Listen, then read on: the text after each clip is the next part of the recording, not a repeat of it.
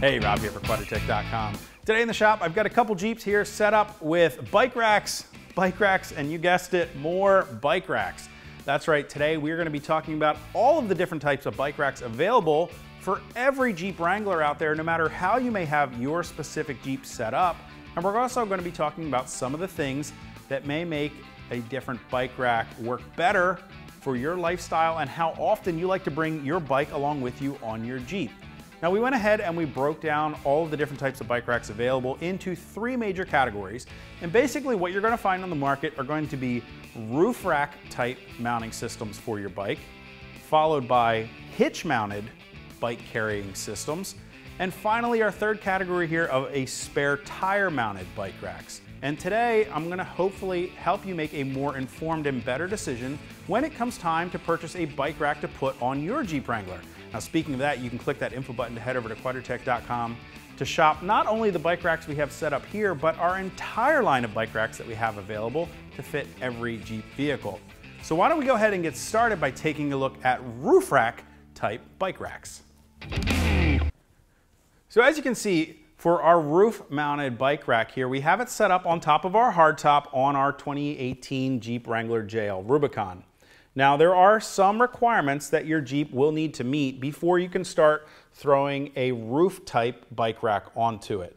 If you happen to have a soft top Wrangler, well, you're gonna need a roof rack that's designed to work with a soft rack. If you have a hard top, well, you're gonna need a base system that's designed to work with the hard top to allow you to mount cross rails. So as you can see here, we're using the Mopar OE by Thule crossrail system that actually mounts in the rain gutters of our Jeep Wrangler JL hardtop, which means it doesn't require any modifications to be done permanently to the hardtop. We can simply install the cross rails easily and then we can remove them later when we're done using them. Now, if you happen to have a little bit older Jeep Wrangler JK or even an older Jeep TJ, well, you may need to permanently modify your hardtop by drilling through it to mount crossbars on your hardtop. So that is just something to be concerned with. Are you okay with modifying a very expensive part of your Jeep? Now, whether you have a hard top or soft top, once you have a cargo rack installed and you're at the point where you've got cross rails installed, then you can start adding accessories to carry your bike. So as you can see again right here, we're using the Mopar by Thule upright bike mount mounted on our crossbars here. Now the nice thing about an upright style bike rack here is you can see we don't have to take the wheels off of our bike to put it on the rack. It's actually holding the bike securely by the frame. It's a great strong point to hold your bike from and then we simply have some straps here to lock in the wheels in the rack. Now there's some other trays available as well that will lock in your bike from the front forks. Now that means you're going to be taking your front tire on and off every time you're loading and unloading your bike. And that's just something to be aware of with a different style of rooftop mounted bike rack. Now, one of the biggest things to be aware of with using this style bike rack on a Wrangler is of course the height.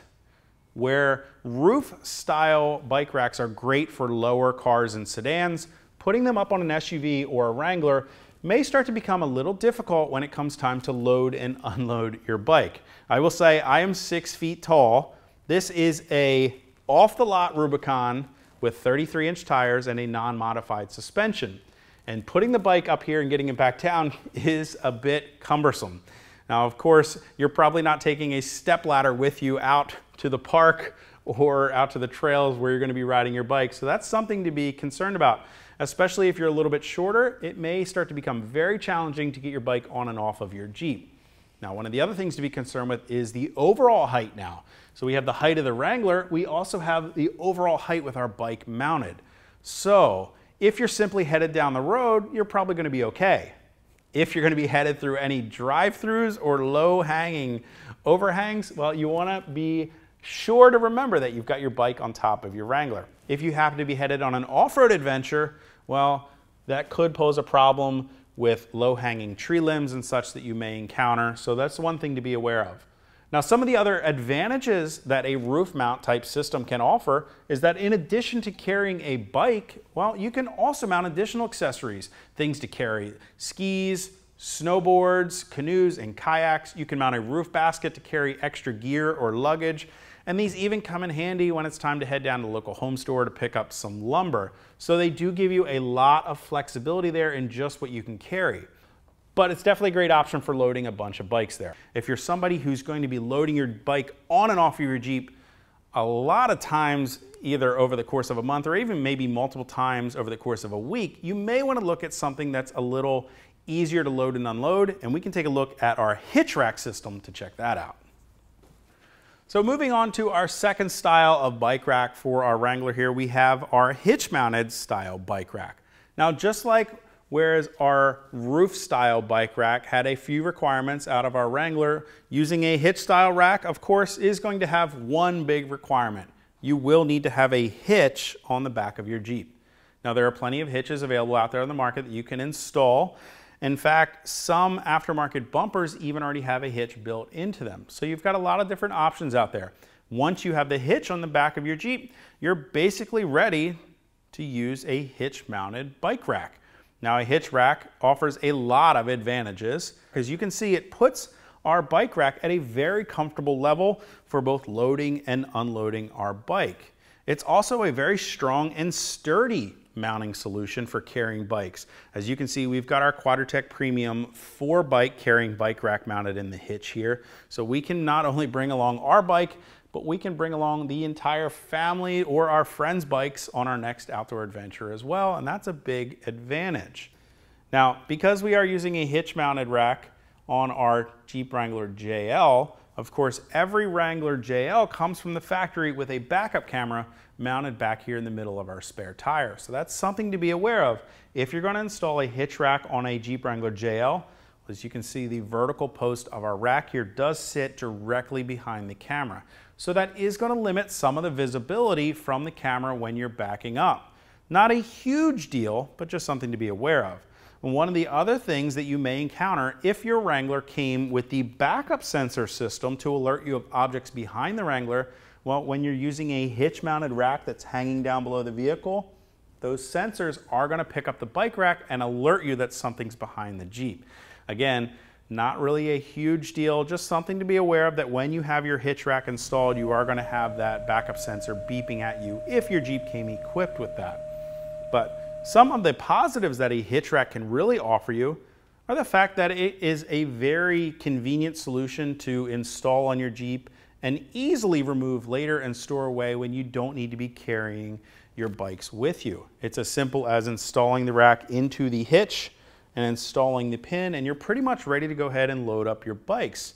And that's great if you're not somebody who is going to be needing to carry your bike with you day in and day out. Instead, maybe you're someone who is looking to bring your bikes along for your weekend outdoor adventures. It's a great solution to not have to leave something on your Jeep at all times. Now, like I mentioned earlier, it's very easy to load and unload your bikes when you're using a hitch type system. As you can see, we just have a couple straps here we need to remove. We can lift our bike up and off very easily. I'm gonna go ahead and actually set it right over here for the moment.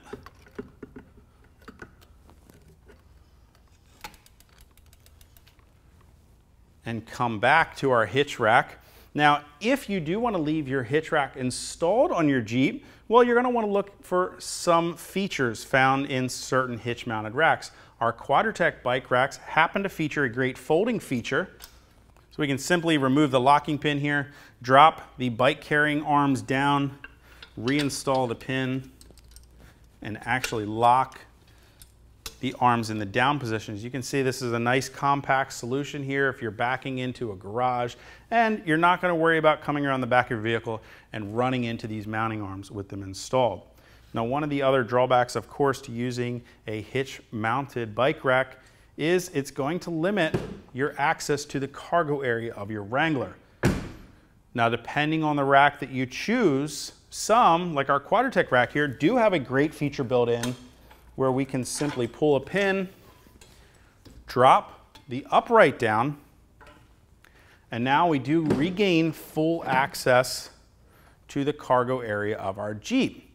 However, of course, we did add a few extra steps to be able to fold this down and gain access. Again, not a huge deal breaker, just something to be aware of that if you're using a hitch mounted system, are you okay with going through pulling the pin, folding it out of the way, gaining access, And if you're not, and if you're looking for something maybe a little more permanent that you can put on the back of your Wrangler, say you're someone who likes to bring your bike along maybe day in and day out or multiple times a week, but you don't want to have those hindrances of adding extra steps to gain access to a cargo area, well, that's going to bring us to our third and final category of bike racks, and that is using a spare tire mounted bike rack. So as you can see, there's a lot of similarities with a spare tire mounted bike rack as we saw in a hitch mounted bike rack. It puts the, the bike carrying arms at a very convenient height so that it's going to be easy to load your bike on and load your bike off. Now, one of the things to be aware of using a spare tire mounted versus a hitch mounted, there are going to be some weight carrying restrictions.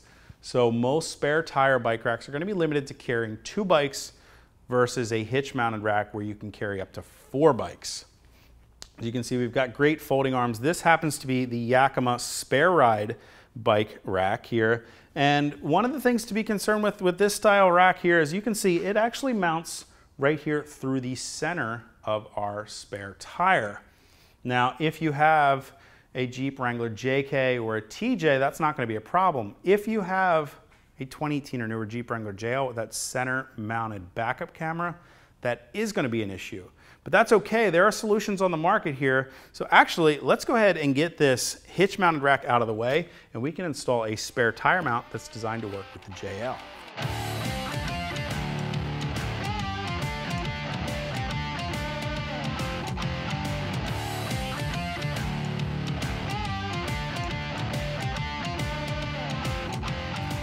So as you can see, that was a pretty easy changeover from our hitch rack to our spare tire mounted style bike rack. And this spare tire rack has been specifically designed to work with the 2018 or newer Jeep Wrangler JL featuring the spare tire mounted backup camera. As you can see, it doesn't interfere with the camera in any way here at all.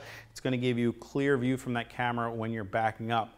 Now, one of the other nice things about using a spare tire mounted bike rack versus a hitch mounted bike rack, if you've got a newer Wrangler with those backup sensors, well, of course, after you tuck these straps out of the way, there's not gonna be anything down here in the way triggering your backup sensors to an object in its path.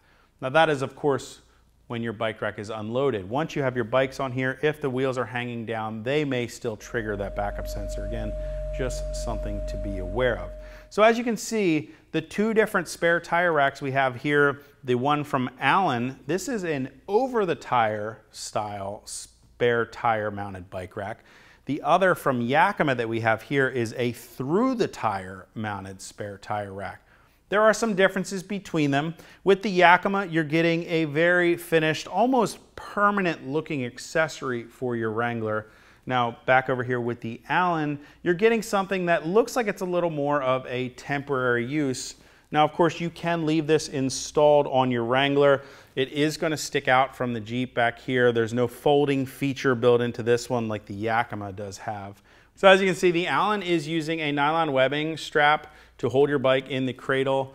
Yakima is using a slightly different solution here. They actually give you these little plastic lockdowns that simply ratchet right into place there to secure your bike. One of the other nice features in the Yakima here is you can see we don't just have two cradles on the top, we actually have a third that's designed to lock your bike in here. And once you install that, that's going to keep the bike from having too much of a rocking motion when you're headed down the road. Course, you can get those nice and snug and really tighten that up. Now, one of the biggest advantages to using a spare tire mounted bike rack, whether it be an over the tire or a through the tire rack, is this right here. As You can see we are not limited to our cargo access at all when we're using a spare tire mounted rack with or without having a bike installed on that rack, we've got easy and quick access to the back of our Wrangler without having to take the bike off, without having to go through any folding procedure. And that, I think, is a huge advantage if you're someone who's going to want to install the bike rack on your Jeep, leave it installed, so that it's there and it's ready whenever you want to bring your bike along on your next adventure. Now, I think that covers all three major categories of bike racks available for any different Wrangler on the market, from the roof mounted to hitch mounted to our last category, the spare tire mounted bike racks. As you can see, there is sure to be a bike carrying solution that will fit perfectly with your Wrangler. Now, if you guys want to get any more information on any of the bike racks we talked about today, as well as plenty more, you can click that info button to head over to quadratec.com where you'll find our full line of bike racks available for your Jeep vehicle. If you have any comments or questions about any of the different style of bike racks, you can leave those for us in the comments section below or contact us directly at any of the options on the screen. And of course, you want to make sure you hit that subscribe button so you're sure to catch all of our latest videos. Till next time, I'm Rob. I'll see you guys out on the trail.